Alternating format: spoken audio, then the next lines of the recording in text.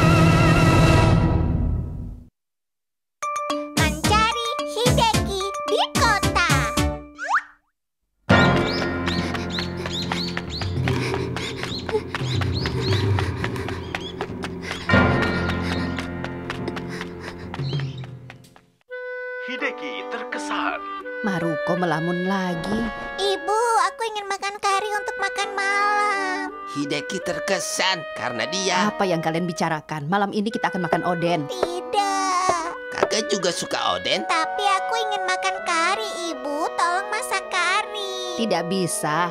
Ibu sudah menyiapkan oden. Besok ibu akan buatkan kari untukmu. Pasti karena kue ikan diobral hari ini. Di rumah ini makanan yang diobral lebih penting daripada keinginan anak-anak.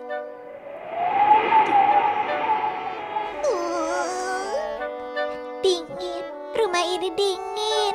Apa yang Maruko bicarakan? Kalian duduk di kotatsu. Walau aku duduk di kotatsu, jiwaku membeku dan aku kedinginan. Apa Maruko baik-baik saja? Entah kapan musim semi datang ke rumah ini. Ah, baiklah, masakan oden ibu akan menghangatkan tubuh dan jiwamu. Tidak. Iya iya Maruko, Oden akan membuat kita hangat. Sudahlah kakek. Meja kotatsu ini terlalu panas. Turunkan suhunya sedikit kakek. Apa? Oh, Ah, halo Sakiko, Aku pulang, Ibu. Ah, ada apa? Apa terjadi sesuatu? Tidak. Apa ada pria asing yang mendekatimu? Katakan. Ah, ah, Apa ada masalah? Kenapa ibu berteriak? Apakah ada anjing liar yang mengejar Sakiko? Katakan. Anjing liar. Jangan, jangan. Jika lari, anjing itu akan semakin mengejar. bukan itu. Ah, akhirnya aku bisa mengambil nafas. Lalu ada apa? Dia ada di sini, dia ada di sini. Hideki. Apa? Apa Hideki? Itu tidak mungkin. Kakek baru melihat Hideki terkesan di TV. Oh, Itu hanya iklan kakek ibu pikir ada masalah apa? Huh, kakak, Hideki tidak mungkin ada di sini, kak. Itu sebabnya kakak terkejut. Aku terkejut penggemar besar seperti kakak bisa berhayal seperti ini. Kakak tidak berhayal. Kakak benar-benar melihatnya. Mungkin kakakmu sedang demam. Aku tidak demam, Ibu. Ya ampun, kenapa kalian tidak mempercayai aku? Iya, iya, baiklah. Mungkin ada yang mirip dengan Hideki di Shimizu. Begitu mirip sampai kakekmu salah menduganya. Ya, mungkin begitu. Hideki yang asli tidak mungkin berjalan di kota ini. Tapi dia begitu keren sehingga aku pikir dia adalah Hideki yang asli.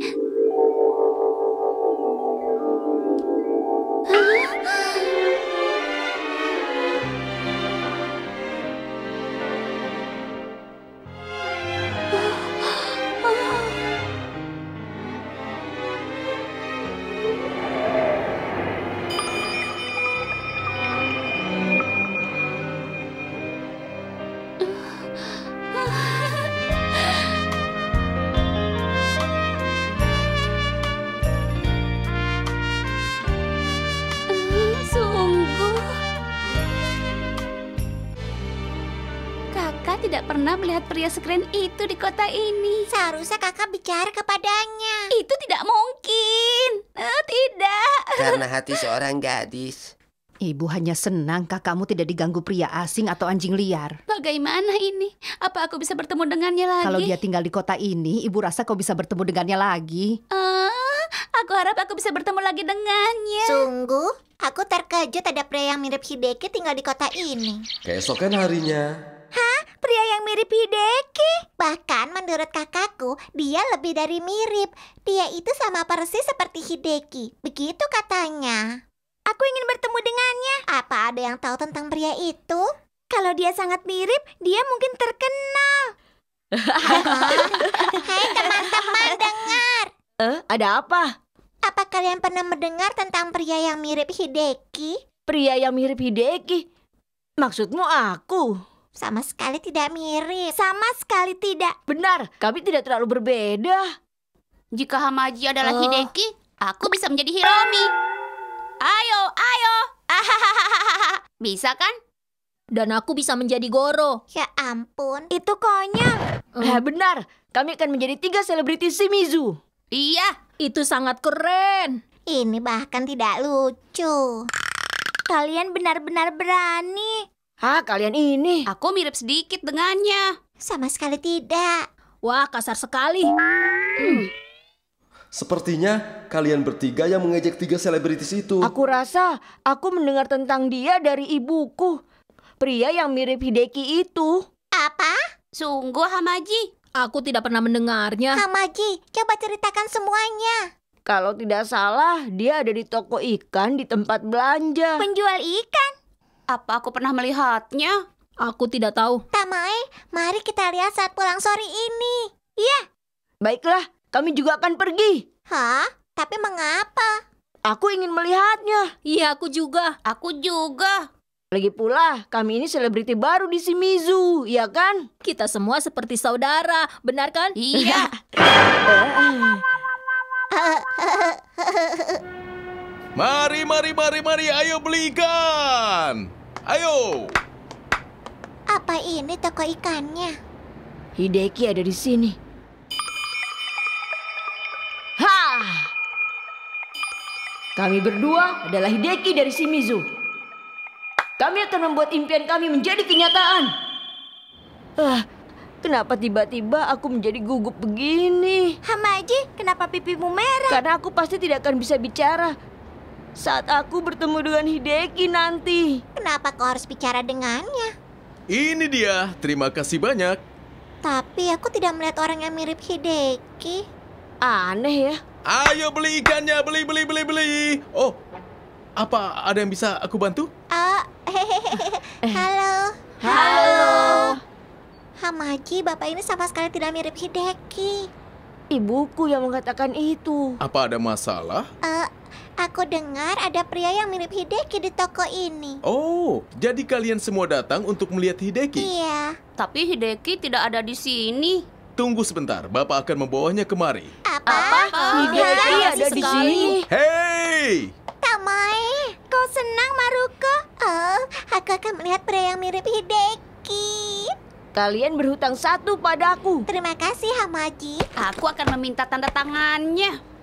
Eh, Butaro, dia bukan Hideki yang asli. Tidak apa-apa. Aku akan menunjukkannya kepada Tomiko saat aku pulang nanti. Aku juga akan minta tanda tangan untuk kakakku. Aku juga. Aku juga. Kalian semua, eh, aku juga. Aku akan minta dia menandatanganinya di sini. Anak-anak ini sengaja datang untuk menemuimu. Hei, Hideki di Shimizu! Aku merasa malu. Apakah pria yang mirip Hideki akan datang? Saksikan kelanjutannya.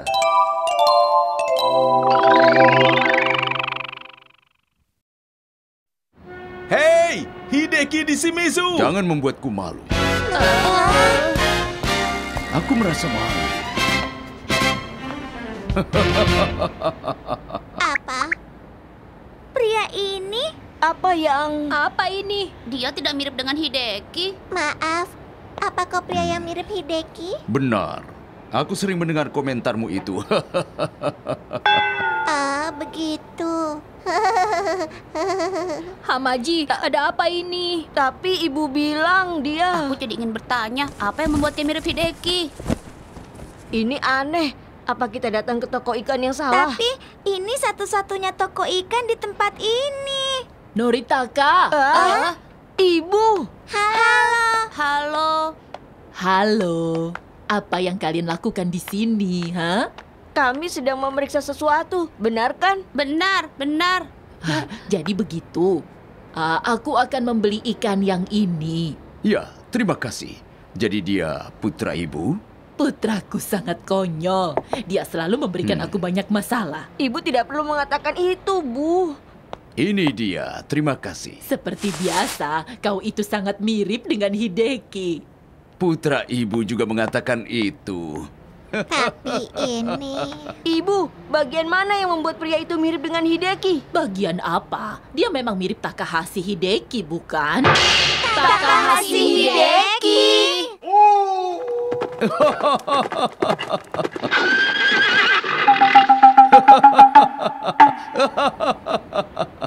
Benar, dia memang mirip. Oh, jadi Hideki itu yang ibu maksud ya? Tentu saja.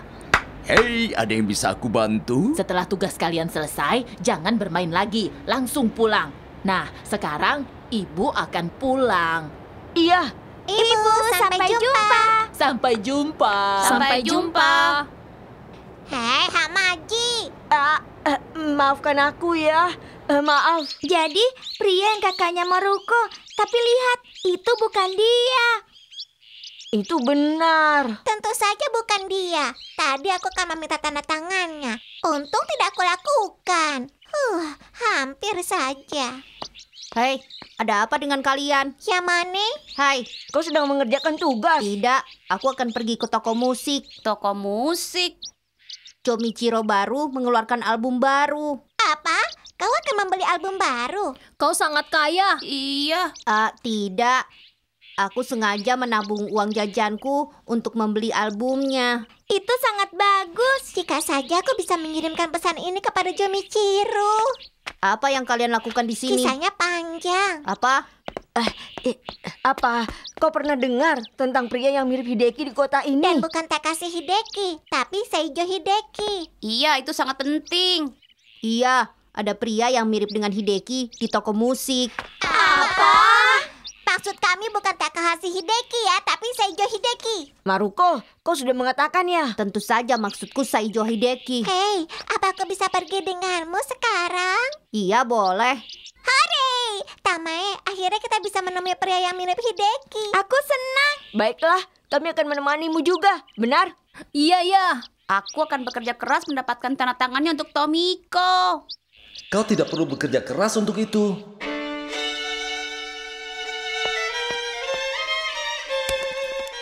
Aku menemukannya. Yamane sangat bersemangat. Di mana ya pria yang mirip Hideki itu? Hanya ada satu pegawai di sini.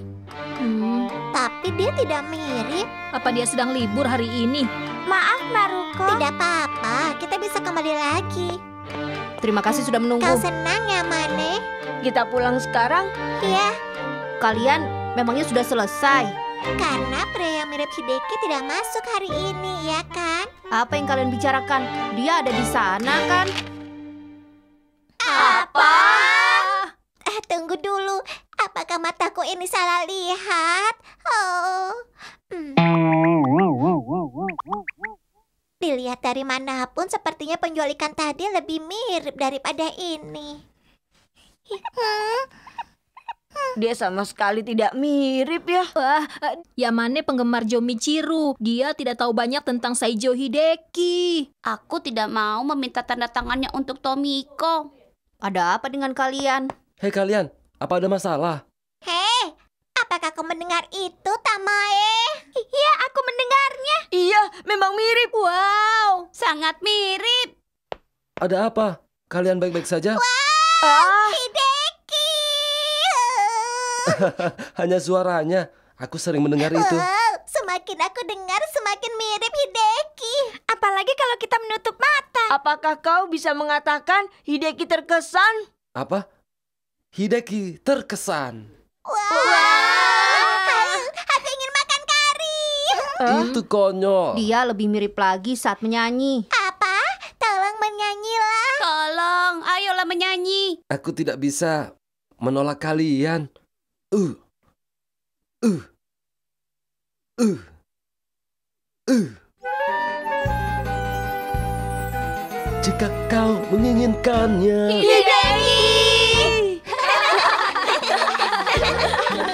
Dia terus menyanyi walau dia bilang dia hanya akan menyanyi sedikit saja. Kalau pelanggan berikutnya tidak datang, kita masih akan ada di sana tadi. Tapi suaranya luar biasa. Seperti konser, sangat seru. Aku menjabat tangannya. Dia sangat baik ya. Oh, Maruko, kakak, apa yang kau lakukan di sini? aku aku sedang memeriksa sesuatu. Memeriksa sesuatu. Oh, sebaiknya kau cepat pulang. Ayo Yoshiko. Iya. Ada apa? Aku sedang terburu-buru. mau ke mana? Aku menemukan dia. Siapa? Ingat pria yang aku temui itu yang mirip Hideki. Ingat tidak? Apa? Iya, Yoshiko menemukan dia. Dan aku langsung memberitahu Sakura. Terima kasih. Terima kasih banyak. Tidak apa-apa, ayo cepat. Sampai jumpa. Hei Maruko, akhirnya yang asli pun sudah ditemukan. Kita harus cepat. Ayo. Ayo kita pergi. Akhirnya aku akan mendapatkan tanda tangannya. Eh, teman-teman. Eh, aku hampir lupa. Aku ingin mendengarkan album ini. Coba kulihat. Hah? Itu dia, pria itu. Di mana dia? Ah, memang dia.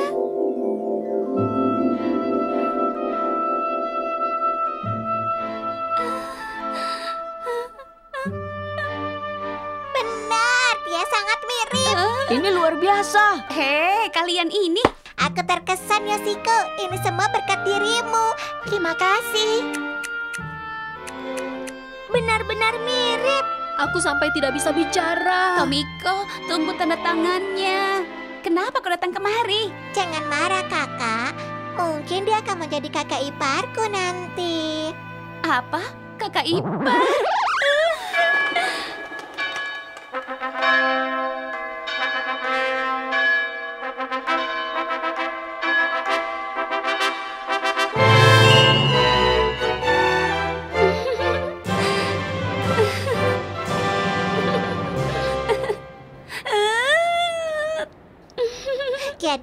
Sebabnya aku harus datang kemari, Kak. Benar, terima kasih ya. Kakak menganggap ini dengan serius. Kakak, ayo kita masuk ke dalam. A- a- a- apa? A- tapi aku malu. A- aku sudah senang melihatnya dari sini. Kau yakin? Iya, aku yakin. Aku akan memotong rambutku di sini.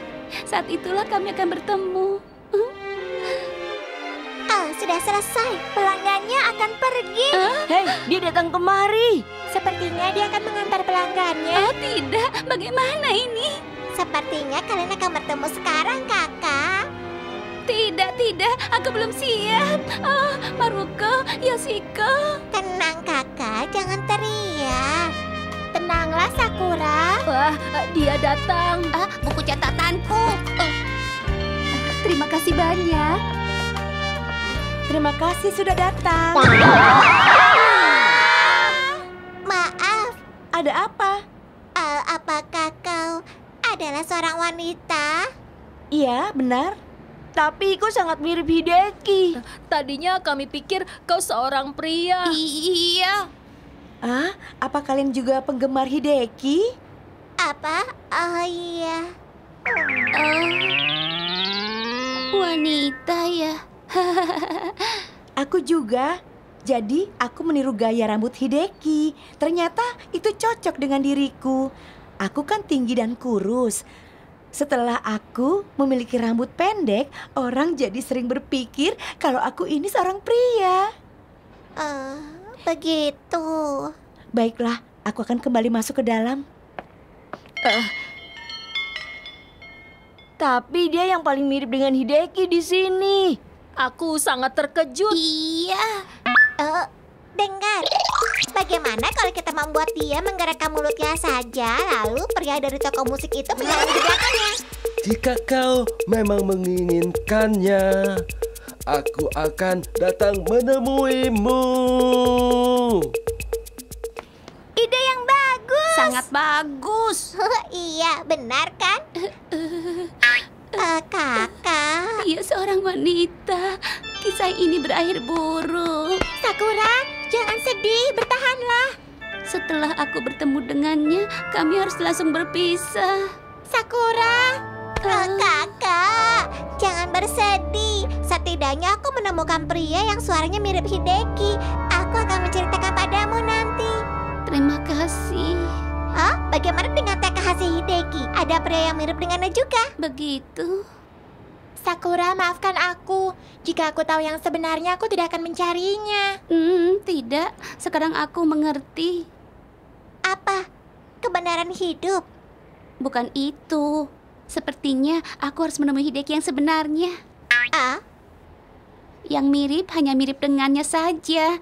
Jadi, aku harus menemui Hideki yang asli dan menikah dengannya. Aku harus bersemangat. ini baru dirimu yang sesungguhnya. Tetap semangat. Aku tidak tahu apakah itu akan berakhir dengan baik. Tunggu sampai aku bertemu denganmu, Hideki. Kakak sangat optimis. Apakah hari itu akan pernah tiba? Tapi pertahankan impianmu kakak. Tetap semangat ya. Ya!